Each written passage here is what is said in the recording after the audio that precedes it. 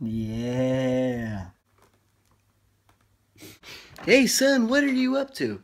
It's a driving under the influence presentation. Now, now you know, son, driving under the influence isn't good. You shouldn't do it. Only cool kids drive sober.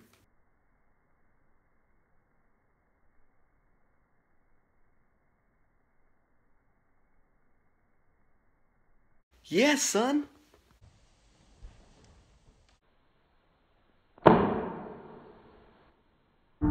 Yo.